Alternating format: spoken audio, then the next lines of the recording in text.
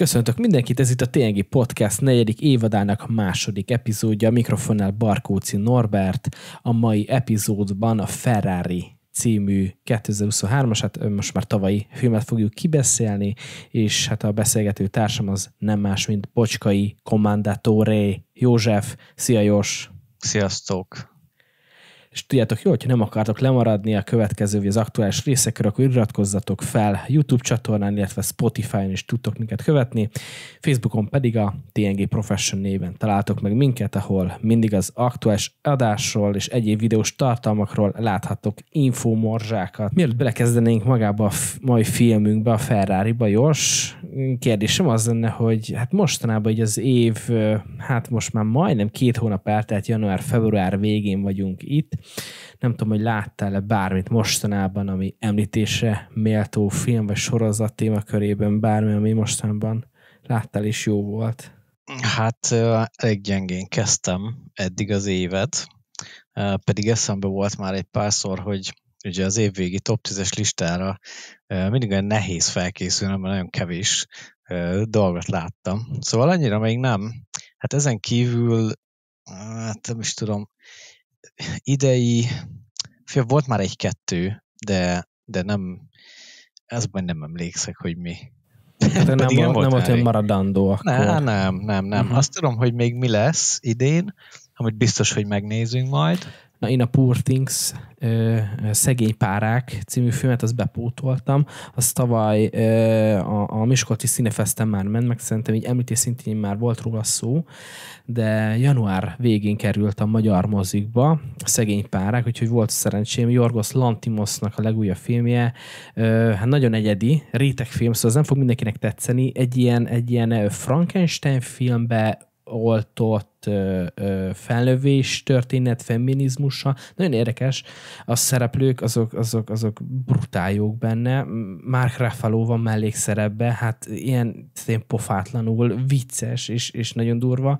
William Dufault, Emma Stone a filmnek a főszereplője, uh-huh.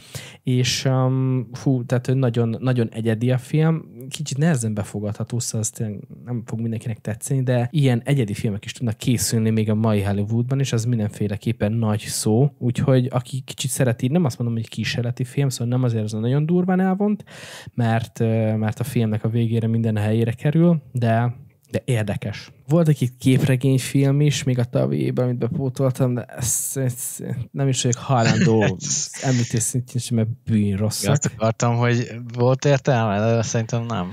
Nem, nem, azt kell mondjam, idő, idő pazarlás, szóval most a The Marvels, ugye a Marvelek, uh-huh, talán a magyar címe, és az Aquaman, Aquaman második részét is lecsekkoltam, hát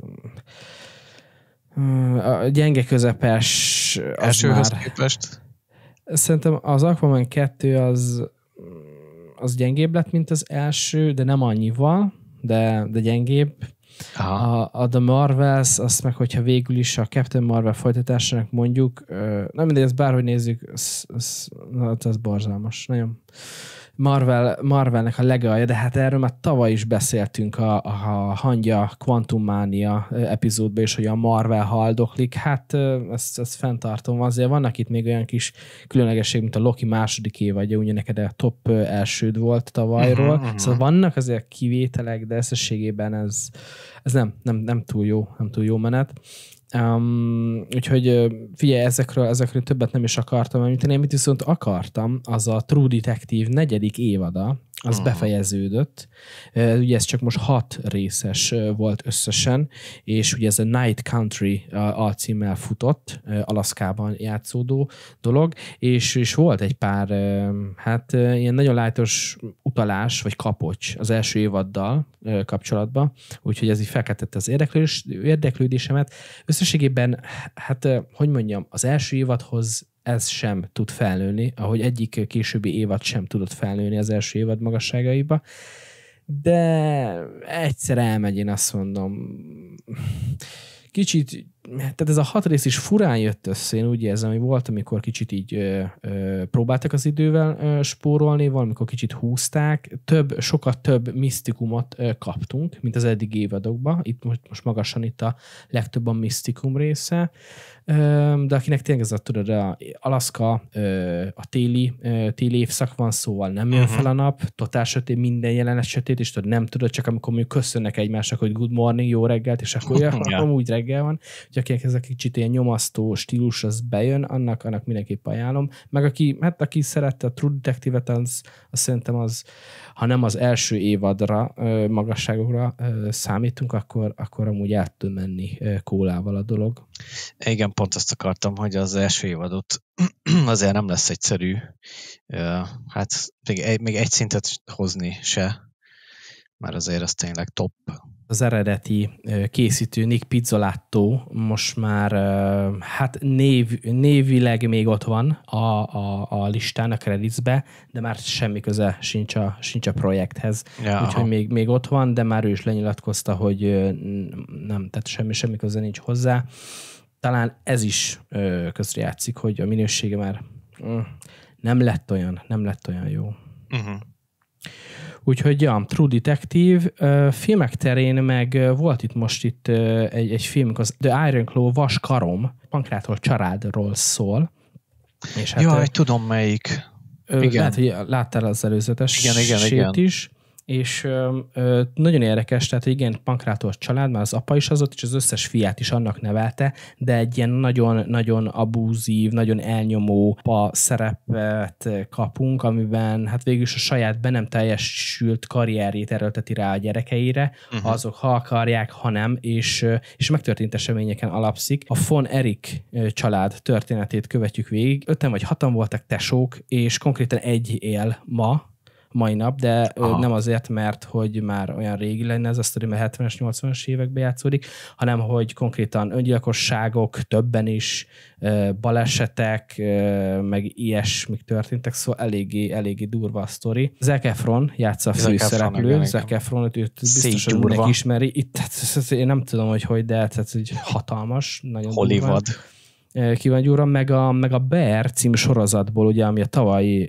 Zsuzsinak a top elsője volt, annak Aha. a főszereplője Jeremy Allen White is az egyik tesót játsza. Aha. Szóval eléggé, hát ilyen sportfilm, életrajzi is, megrázó komoly, komoly téma, de nekem tetszett amúgy, és ez külön kiemelendő, hogy a, az operatőre magyar Erdély Mátyás volt a film, oh. úgyhogy oh. Úgyhogy ez még így pluszpont is. Úgyhogy ja, aki szereti az ilyen sportfilmeket, meg mondjuk esetleg kicsit így a pankrációt, akkor Iron Claw, Vasmarok már megy a mozikban. Igen, oh. tehát hogy február, február 7-e ha jól látom, Aha. tehát február óta már a mozikban ezt is meg lehet nézni a Vaskarom című filmet, így, hogy Super Bowl ugye most ment le pár uh-huh. héttel ezelőtt, ugye ott a reklámszünetben ott, ott beszokták dobni a nagy stúdiók, a nagy, hát az AAA projekteket, uh-huh. nem tudom, hogy azokat néztete, vagy azon kívül, és vagy mik azok, amiket te az idejében felírtál a város listára. Hát bár ugye a Super Bowl-t azt néztük, de a, a Super Bowl ugye félidei nagy reklámspotot azt én nem láttam. Mert ugye azt Na, de hogy utólag is vissza lehet külön, nézni, ugye? Külön viszont nem néztem meg. Szóval nem tudom, hogy abban mi volt, viszont hát ami nekem idén az ugye, majd most májusban biztos majd a Mad Max, ami érdekes lehet, nyáron jön a Deadpool, a harmadik része. Annak se láttad akkor a trailerét, teaser, nem is tudom mi volt, azt már lesz. Aha, jó, jó, jó. Egyszer, háromszor, biztos. Meg hát majd, majd évvége fele jön még a Joker, amire kíváncsi leszek, meg hát ez így nagyjából ennyi amúgy. Meg amiről nem, nagyon nem tudok sokat, de decemberben, mintha lenne egy ilyen re- release a Star Wars Phantom Menace-nek. Ezt nem tudom, hogy... Visszaküldik a mozikba? igen, szerintem igen. Igen. Szóval amúgy, amúgy azt megnézném moziba. De azt, ennyi. már, azt már moziba láttam, de amúgy a, uh-huh. ez jó volt. Én még, én még a Dűne 2-t, ugye az podcast az február végén fog kimenni, mozikba is ugyanakkor fog érkezni a Dűne 2, amikor az a podcast kimegy, úgyhogy az biztos, hogy jó lesz nekem az első rész rohadtul tetszett. Danny Villeneuve rendező, ez azért sok, sok mindent elárul, hogy, hogy mennyire várom a filmet, és ja, igen, a 2021-es listán nekem a Dűne 1 ez a top 1 volt, úgyhogy a második rész, a Dűne 2, az mindenféleképpen város. Oscar szezon, nyilván évről évre mindig elmondjuk, nem, is, nem csak mi, hanem mások is, hogy mennyire egyre kevésbé van súlya ugye az egész díszezonnak, nem csak az Oscarnak, hanem másoknak is, de ezért mégiscsak, mégiscsak szoktak róla beszélni az emberek. Most már a kijelölések kijöttek. Itt most nem fog végigmenni az összesen, de azért az Oppenheimer, Barbie, és hát a Poor Things, a szegény párak, amit most említettem, elég sok jelölést kapott. Nem tudom, hogy neked vannak egy tipjeid, vagy, vagy bármi ilyesmi, hogy ki mit szeretnél, vagy ki nyerje a legjobb filmet, bármi ilyesmi. Nem, nem akarok senkit, hogy nyerjen igazából. Ugye amennyire egy lapon emlegették a Barbie-t, meg az Oppenheimert, mármint ilyen hype szinten, meg ugye azt nem, azt nem tudom, hogy a moziban a nézettség, vagyis hát az eladott jegyek, azok hogy alakultak, de szerintem Nagyon durván szó jól hoztak. A Barbie többet, de az Oppenheimer nagyon sok, Aha. nagyon sokat hozott. Tehát, hogy ha így nézzük, attól függetlenül szerintem az Oppenheimer azért egy ugye komolyabb hangvételű film, és Oscarra szerintem azért sokkal jobban esélyes, mint a Barbie. Most attól eltekintve, hogy a Barbie is azért hozott egy olyan szintet, amire tudod, sok ember nem számított, de inkább az Oppenheimer szerintem. Amit, de tudod, ez ilyen, ez ilyen mainstream, amit mindenki ismer. De most nyilván általában mit, mit látsz az Oscar gálákon, olyan filmek visznek el, olyan díjakat, amiket életedben hallottál semmit, úgyhogy ja, az Oppenheimer biztos fog vinni. Az Oppenheimer az kb. az egy milliárdat, majdnem, hogy elérte, picit nem. Nyilván ez a mhm. globális, a Barbie meg 1,4 milliárd, úgyhogy hát ezek vastagon vastagon jövedelmező filmek voltak, és hát a díszezon az csak, csak dob rajta. Én, én kifejezetten szurkolok Killian Murphynek és uh-huh. a mhm. férfi főszereplőnek. Még nem hogy nyert, ezt yeah. Nem, nem, ő még nem, ha jól tudom, de aztán meg majd lehet, hogy ki hogy vágjam ezt a podcastból, de nem baj. Szerintem nem, ő még nem nyert, hát hogyha meg hát nyilván Nolan is azért, az mindig jó látni, hogy, hogy, hogy a mainstream filmekbe is tényleg be tud kerülni egy ilyen, ilyen típusú, hát egy gyakorlatilag ilyen önéletrajz-szerű film, úgyhogy ja. Mm, a ferrari már ha már itt járunk, csak így előzetesen, azt nem jelölték semmire? Uh, nem, nem jelölték. Jó. A legjobb filmek, jó, átfutok. American Fiction, azt nem láttam, az Anatomy Fall, ami rajta volt a, a, a tízes listámon az ott van. A Barbie-t is jelölték, a Holdovers-t is, ami szintén rajta volt a listámon, az a téli szünetes. Killers of the Flower Moon, az oké, és a Maestro, Bradley Cooperes film. Oppenheimert, Past Lives, azt is láttam. Uh, Poor Things, az szintén ott van a jelöltek között, és a Zone of Interest, amit még meg akarok nézni, mert az, az jónak lehet, úgyhogy ezek vannak a jelöltek között. Következő podcastben már tudni fogjuk majd a győzteseket, úgyhogy, úgyhogy ja, kanyarodjunk át a mai témánkhoz, ami ugye nem más, mint a Ferrari című film. Egy rövid szinopszis, hogyha valaki esetleg nem lenne képbe. 1957-et írunk, ugye főszereplőnk Enzo, az Adam Driver által játszott Enzo Ferrari. A cége körüli nem túl jó anyagi helyzettel egyrészt meg kell küzdenie Ferrari-nak, ott van a felesége, már régen elhidegült felesége, az elhunyt fia halála, ott van még mellette a szeretője és a tőle született gyermeke is, és hát maga a versenyzés és a versenyzés iránti szenvedélye körül forog nagyjából ez a film. Nem tudom, neked mi volt az első benyomás, hogy első körben. Nekem egy picit meglepő volt, így az előzetes alapján, nem teljesen erre számítottam. Azt hittem, hogy egy klasszikusabb versenyzős film lesz, és ez inkább egy ilyen, hát mondanám, hogy egy ilyen biopic, egy ilyen önéletrajzi film, de ugye ez konkrétan csak egy év történéseit meséli ez a film, úgyhogy nem tudom, te, neked mik voltak az első benyomásaid? Én úgy néztem meg a filmet, hogy semmit nem tudtam róla, tehát én nem, nem néztem előzetes, nem olvastam róla semmit, abszolút, tehát amikor tudtam, hogy jön, akkor én azt hittem, hogy hasonló lesz, mint például ö, volt a Rush, ö, vagy volt a Ford versus ö, Ferrari. Ferrari. Szóval valami ilyesmire számítottam, és ö, amikor elkezdtem nézni, akkor már az elején gyanús volt, hogy ez ezeknek, vagy azokhoz nem lesz köze hozzá, és nem is lett. Hát kicsit olyan, megmondom őszintén, két részletben néztem meg, de nem azért, mert nem bírtam, hanem sajnos ki kellett kapcsolnom, és később kellett folytatni, rá egy napra folytattam, és fejeztem be. Uh-huh.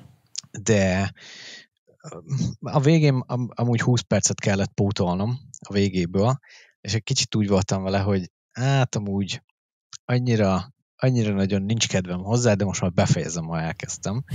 Ja, nem azért, mert nem volt jó egyébként, mert jó volt, csak a filmnek a hangulata egy kicsit ez a hát poén nem volt benne, nyilván talán egy, amin így tudod, elmosolyodott az ember, de inkább ez a nyomasztó, tényleg ez a drámai hatást keltő jelenetek, úgyhogy hát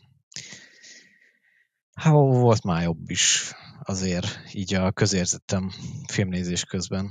Akkor ezt meghallottam a projektet, hogy Michael Mann fogja rendezni ezt a filmet, akkor, akkor egyből felkerült a listámra. Hmm. Már csak azért is, mert hát nyilván a, a az öregnek a korábbi filmjei miatt. Én, én szerintem majdnem mindiket láttam legalább egyszer, néhány kivételtől eltekintve, mert nyilván az elég sok filmje van, és hát a, a, a leg, legnagyobb, vagy a legkedvenc szebb filmjeim, azok, azok azért tőle vannak. Tehát, hogy ha mást nem említek, azért az utolsó Mohikán Daniel day lewis azt úgy mindenkinek szerintem úgy megvan.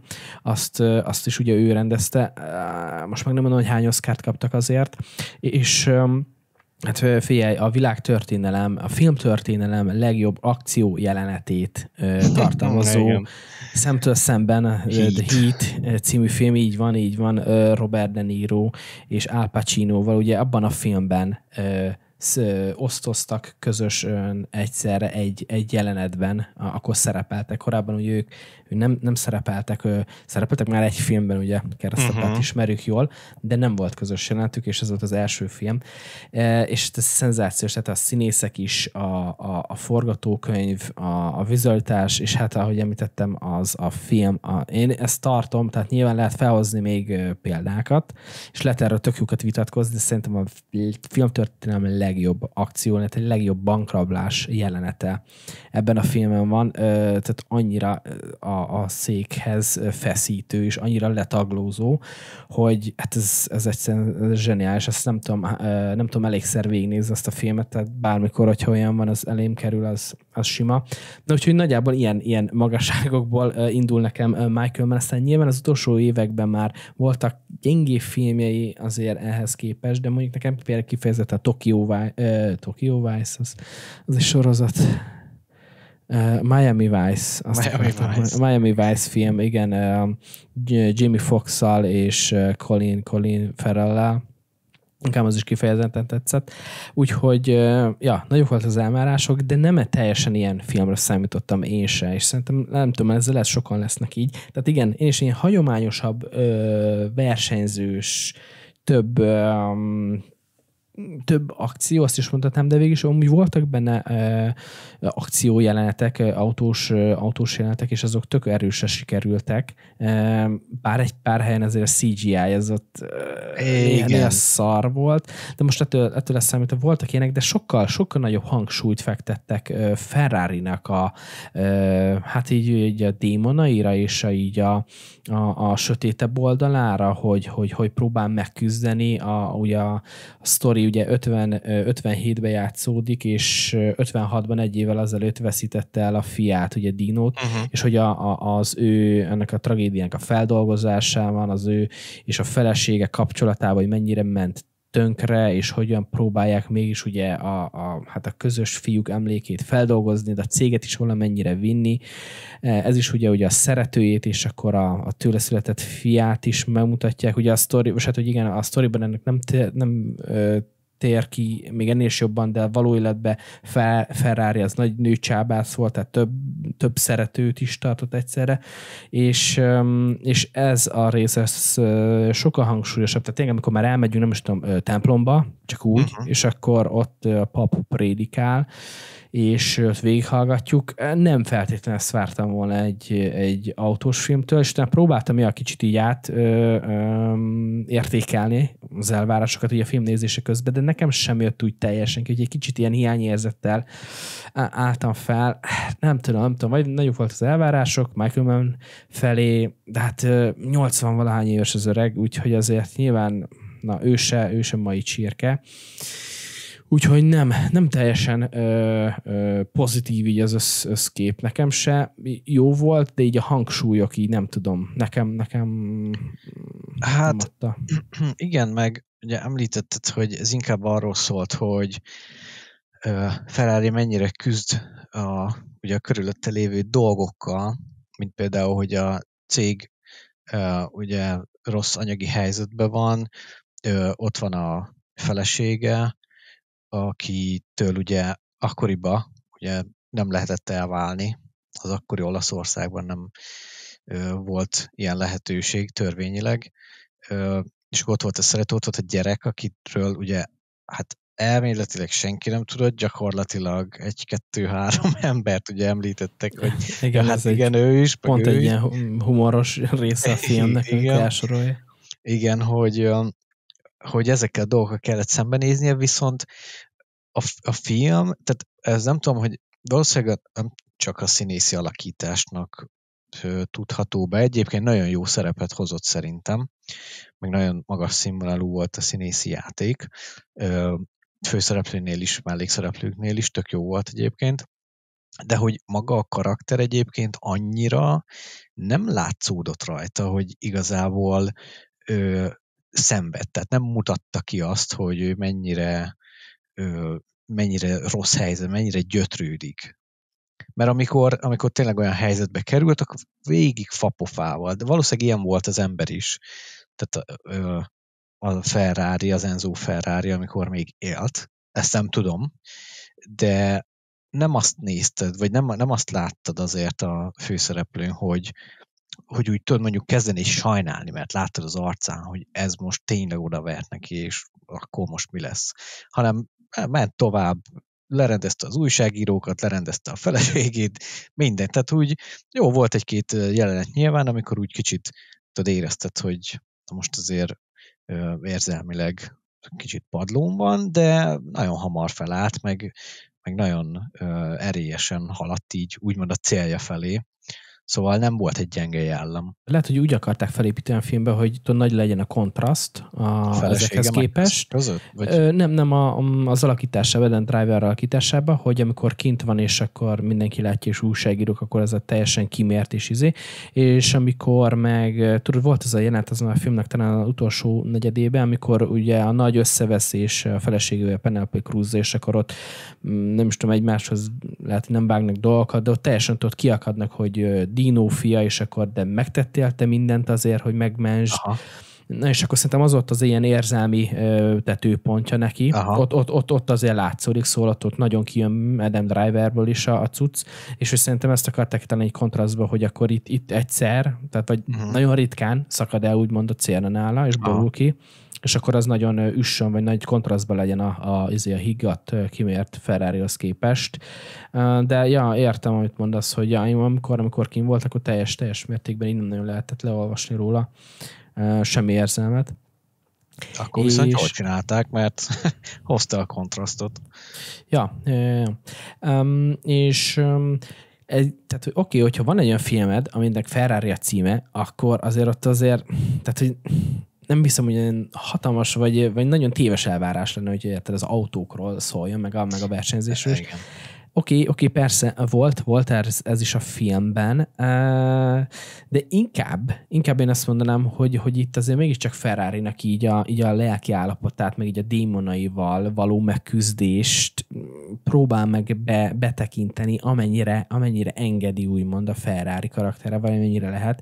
De itt sok inkább arról van szó, hogy, hogy ő azért, hogyha így végig gondolod, objektíven, így most már úgy mond a történelmi távolatból, ugye személy 90-es, 90-ben halhatott meg, nagyon sok, majdnem 90 évig élt, szóval, hogy összességében egy ilyen elnyomó apáról, meg férjről van itt szó, szóval nem volt ez a nagyon ilyen kenyérekenhető és barátságos és jó fej öreg Enzo Bá. Szerintem ezért is kicsit nehéz így menni vele, vagy így megszeretni a karakterét, mert hogy ja, valószínűleg az életben is ilyen volt, és, és ugye, ahogy a fia, ugye Dino, a vérszint fia ugye meghalt, onnantól kezdve a többi fiához fordult, ugye a pilótáihoz, a versenyzőihez, és... És nem hát nagyon az... érdekelte őt, hogy hallomra halnak. Na ez egyébként. az, ez az. Őket is ugyanúgy elnyomta, nyilván mindenkinek azt a szöveget adta be, amit éppen hallani akart, de mindenkit a saját céljaira, vágyaira, versenyzésre akart felhasználni, és ja, teljesen, teljesen hidegen hagyta, hogy ennek milyen következményei lesznek.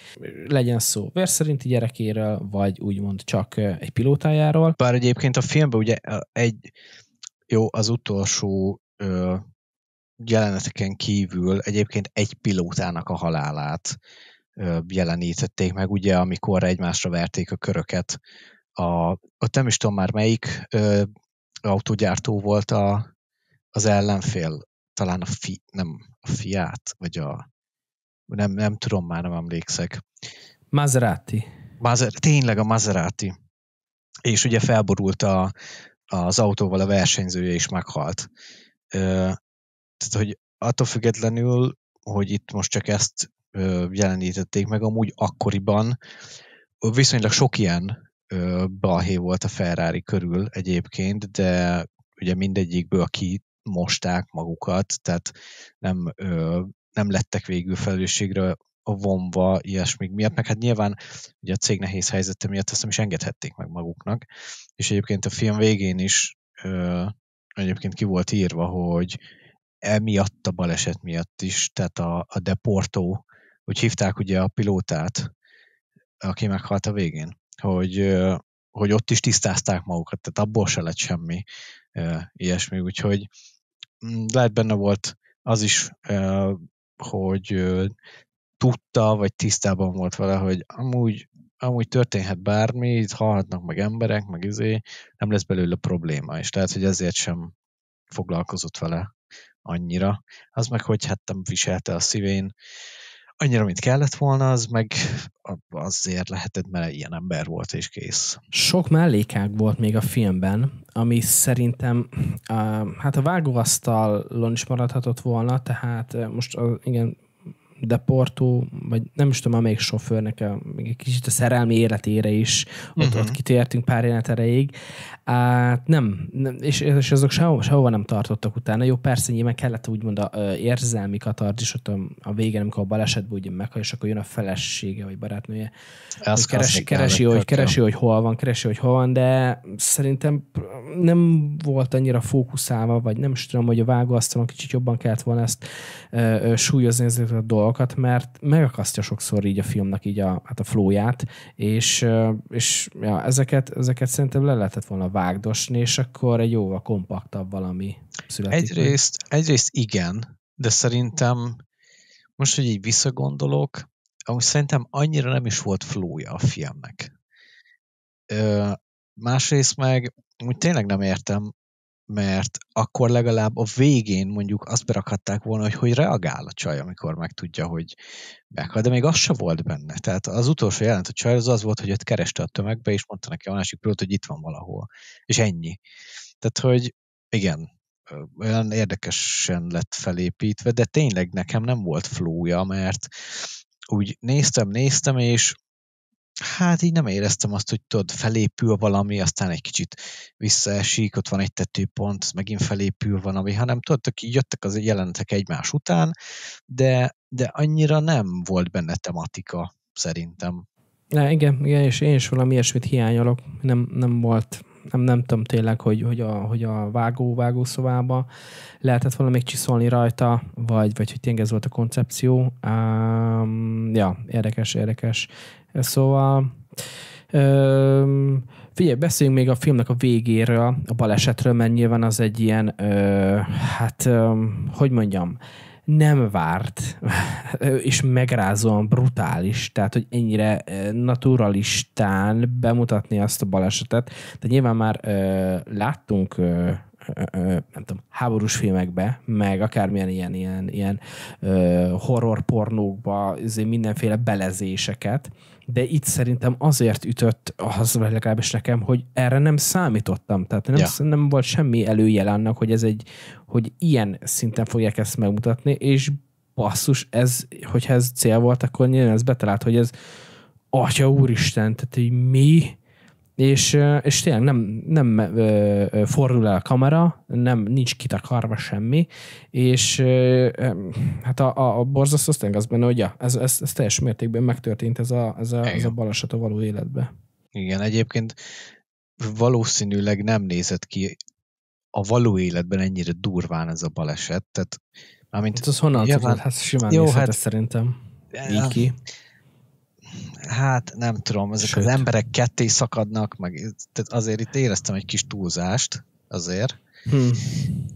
Hál' Istennek nem láttam azért sok ilyet élőben, de igen, tényleg az volt benne a megrázó, vagy megdöbbentő, hogy tényleg nem számított rá az ember. Tehát tök nyugiba elment a film, jó, egyszer volt egy olyan, hogy ugye a feleség rálőtt pisztolyjal, yeah. és akkor oké, okay, ennyi, az ott egy kicsit tudod mindenki. Ja, de egyébként ott se ilyet meg Ferrari, csak mondom, tehát az arcán nem volt, meg, nem, meg se rezzent egyébként, ezt direkt néztem, na mindegy. Uh, amikor a pilóta meghalt a pályán, akkor is csak jó, eldobta az autót, meg, meg ott látszott, hogy repül az ember, de ott földetérés nem volt, meg semmi ilyesmi. Szóval a végén azért úgy, át ott, ott tényleg minden és én, én is úgy néztem, hogy az meg ledarálta az embereket az autó, miért raktak be ilyet a filmbe, és így, hát nem tudom mennyi volt ez a jelenet, szerintem egy, egy perc vég volt még ott a kamera, tudod, végigpásztázta a hullákat az út mellett, egy egész közelről, a végén a sofőrrel, és tényleg ez a mm, oké, okay, Hát tehát ez az, hogy olyan sokáig, ja, ott, ott maradt a kamera, hogy már már azt gondolná a néző, hogy ezzel a rendező talán valamilyen ítéletet is akar Ferrari felé hozni, hogy hogy tessék, nézzétek, itt van, ez az eredménye, ez ez a, ez a brutális vérengzés az ilyen típusú versengésnek. Ugye, tehát, hogy hozzátartozik a sztorihoz, hogy ezeket teljesen közúton rendezték még, még akkoriban. Ugye manapság már egy ilyen elképzelhetetlen. Persze nyilván vannak most is gyorsasági rally szakaszok, amiket teljesen közúton rendeznek meg, de legalább lezárják őket teljes mértékben. Persze. És persze most mai napig is vannak balesetek, de már ilyen jellegű nem. És tényleg, hogy ilyen autók autókkal akkor mondhatni, hogy csúcs, csúcs technikájával már csak zárt, zárt pályán versenyeznek, de hogy ja, ez akkor ez még teljesen, teljesen működött, és Na, ja, igen, szóval visszatérve, hogy, hogy már, már azt gondolom, hogy ezzel, ezzel lehet, hogy valami ítéletet akar hozni Ferrari felett. Ugye mondtad, hogy volt is ebből ügy, de aztán végül is ez sikerült. El, el nem tudom, hogy most ezt kinek hát, hogy tusolni, sikerült ugye tusolni, tusolni nem de kiderült, hogy, hogy amúgy nem az autó volt. Igen, tehát hogy volt nyomozás, meg minden, és a végén mégis nem, nem ítélték el őket, de hogy, de hogy végig is konkrétan ők, ők voltak a, a, a felelősei ennek.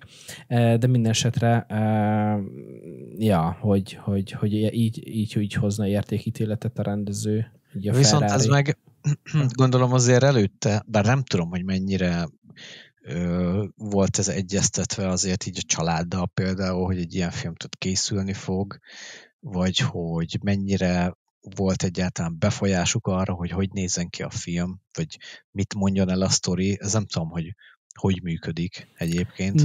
Nem tudom, hogy meg voltak keresve, de sokszor ilyenkor nincsen ráhatásuk. Tehát, hogy nincs olyan, hogy vétójog, és azt mondják, hogy fi, ez nem úgy volt, és ezt nem akarom. Oké, okay, noted, és akkor, de semmi. Ja, ja, ja, mert, mert hogyha esetleg az történt volna, amit mondasz, hogy ezzel akartak valamilyen ítéletet hozni a család felett, vagy rámutatni valamire, amit esetleg régen ö, történt ö, velük, hát nem tudom, hogy, hogy ezután élhetnek-e valami ö, olyasmivel, amivel ö, jelzik esetleg a gyártó felé, hogy azért figyeljetek már, ezt így, hát nem kéne, mert... Ez szerintem azért nem, mert ugye ennek nem az a következményei megvoltak, hogy utána már nem, nem rendezhetek ilyen, ilyen körülmények között versenyeket, és hogy akkor annó le, lefolytatódott ez a, ez a vizsgálat, vagy az eljárás, és ugyanak megvan az eredménye, szóval úgymond uh-huh. ez, ez már lezárt, lezárt dolog szerintem ilyen szempontból. Uh-huh. Nem tudom, ha életrajzi filmek szánták, akkor mennyire kell ugye a valóságnak megfelelően leírni a történteket, nyilván lehet ferdíteni, meg szoktak is, tehát nem arról, mert nem dokumentumfilm, nyilván, de azért érdekes bele gondolni. Összességében, amit én olvastam, az a filmben a, a nagyobb dolgok az mind a helyén van, tehát az minden fix, apróságokat esetleg, de, de hogy ezek, ja, ezek így és ilyen formában megtörténtek, de akkor beszéljünk egy kicsit, vagy említsük meg azért a két főszereplőt, hogy Adam Driver és Penelope Cruz. Én Adam, Adam Driver-t nagyon szeretem, már a Gucci-ba is jó volt ez az olaszos akcentus, nekem most is bejön amúgy, nem tudom, hogy a, az, az anyanyelvi amerikai vagy angolt beszélőknek mennyire jön be ez az olasz akcentus, de ugye nekem mindenféleképpen adja, és amúgy szerintem Penelope Cruz itt, itt amúgy talán még jobb is volt, mint Adam Driver, szóval jó, nyilván hálás szerep volt ez a kiábrándult, csalódott, nem tudom, kicsit depresszív feleség, de elég, elég, elég jó volt a szerepben. Szerintem azért volt jó, vagy szerinted még jobb is a szerepben, mert sokkal több mindent tudott megmutatni a színészi tehetségéből, mint Adam Driver. Tehát volt egy-két jelenete a főszereplőnek is, amiben ez meg tudott mutatkozni, de azért azért a feleségének szerintem sokkal több. Tehát ott ott, ott rajta látszott igazán érzelmileg, hogy mennyire van padlón.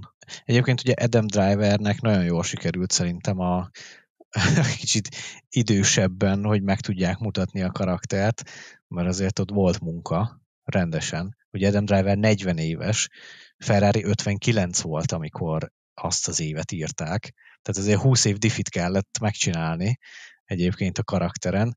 Penelope Cruz-nál ugyanez csak 8 év volt látszott több Penelope Cruzon is talán egy pici öregbítés, vagy nem tudom, a hajával, az a nőknél mondjuk a, a hajukkal azért eléggé sok uh-huh. mindent így el lehet adni, de, de, de ja, Adam, Adam Driver is teljesen, teljesen jól nézett ki ezzel a, ezzel a kicsit ilyen őszes, őszes haj. Meg volt ugye egy pár flashbackünk is, amikor még a fiatal korá uh-huh. a Dino fia születésére tényleg egy pár másodpercnyi snit, de ott meg, hát ott meg fiatalítva voltak, ott is inkább a hajakkal játszottak. Hát amúgy ja, teljesen, teljesen jól néztek ki, meg úgy maga a vizualitás, tényleg ez a pár CGI, tényleg az ütközés a végén ott is amúgy maga az autó az kicsit gyanúsan nézett ki, de a brutalitás az elvitte a súlypontot. Egyszer-kétszer azért fura volt, de úgy összességében amúgy nyilván most Olaszországban azért, így, azért viszonylag hálás így forgatni, mert ez gyönyörű tájak, meg minden, úgyhogy még, csak, csak még, több, még, még több autót én elviseltem volna, még több Ferrari-t. Hát igen, látszott, hogy nem a, nem a CGI-ért felelős részleg volt túlfizetve azért. Tehát a minimálból kihozták, amit ki tudtak, azt úgy voltak vele, hogy jó lesz, az nem, úgyse ez a lényeg. Egyébként végül is igazuk volt, vagy igazuk van, mert nem az volt a lényeg, de de ja. És ugye a flashbackekre visszatérve, tehát a, ugye 57-ben játszódik a film, és a fiúk az egy évvel korábban halt meg, 20 évesen, ugye? Nagyon fiatal, igen. Valami ilyesmi lehetett. Tehát a flashbackekben volt Adam Driver, Ferrari-ként annyi idős, mint a való életben amúgy. A szeretőjétől származó fie, ugye Piero, ugye a film végén azt hiszem ki is van írva, hogy ő hát egyrészt ugye mai napig el is, hogy alelnöke a, a cégnek, és hát dusgazdag milliárdos, uh-huh. és nem tudom, hogy mennyire van így belefolyva így a Ferrari céges napi ügyeibe, de, de az Enzo az Um, szóval róla mindig is ugye az, az volt, vagy azt olyan hozzáállása volt az egész autógyártáshoz, hogy ő azért gyártotta a Ferrari-kat, azért, az, azért adta el az autókat, hogy legyen miből finanszírozni a versenyzést, mert ugye mindig is inkább így a versenyzés, ugye a korai film legelején ugye van egy pár ilyen nagyon régi esre megcsinált hogy ugye ő is versenyez a korai éveiben, szóval mindig is ugye ez volt, és szerintem az a Ford, Ford versus Ferrari-ba is izé, ezt kidomborították, hogy, hogy ő neki másodlagos maga az autóeladás, az csak tényleg azért fontos, hogy tudja mibe finanszírozni a, a versenyt, mert hogy az az, az, az, az igazi maga Igen, a versenyzés. Említették is a filmben, hogy ennyi autóeladás ö, lenne a cél, de neki csak ennyi volt az adott évben, és amúgy ezek ilyen nevetségesen alacsony számok voltak. És egyébként a, ugye Pierrot-nak, aki hát ma már majdnem 80 éves, amúgy. A, a két unokáját úgy hívják, hogy Enzo és Piero.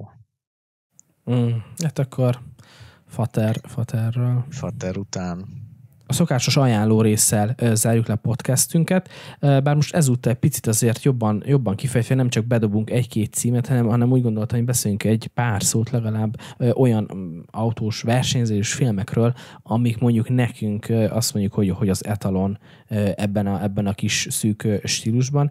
És igazából nem tudna, hogy meglepetés, mert szerintem már minden, minden kettőt említettük. Az egyik ugye pár évvel ezelőtt, 2019-es a Ford versus Ferrari, ami, ami időben is, meg, meg hát a címadó Ferrari miatt is elég közel áll a Ferrarihoz, illetve ezen kívül még igen a 2013-as Rush című film, ami meg ugye Niki Lauda és James Hunt közötti Forma 1-es versenyt dolgozza fel. Nem tudom, hogy neked ezek a filmek, tehát hogy ha autóversenyzős filmek, akkor, akkor akkor inkább ezek, vagy nem is az, hogy ez a két film, hanem hogy amit ez a két film hozott, versenyzés, dinamika és egyéb szintjen, mint sem a Ferrari. Tehát, hogy ezt, ezt a ferrari ezt nem fogjuk tudni oda tenni ezekhez a filmek mellé. Rosszabb is szerintem egy kicsit, de hogy nem is, nem is teljesen ez, ez lett a fókusza, mint ahogy ezeknek a filmeknek. Uh, nem, hát a, a Rush az, az ugye szerintem sokkal jobban inkább a versenypályán játszódó film, meg ugye a, a pilóták közti versengésről szól, ha lehet így mondani. Viszonylag rég, ugye ez már több mint tíz éves film. Az aszfalt királyai, az aszfalt királyai, meg ugye az hat évvel a, ezután a Ferrari sztori után játszódik, és én sokkal több mindenre emlékszek, például abból a filmből, mint a Rásból, szóval nekem, nekem, nekem az sokkal jobban bejött, tehát a Ford v Ferrari, mint a Rás egyébként.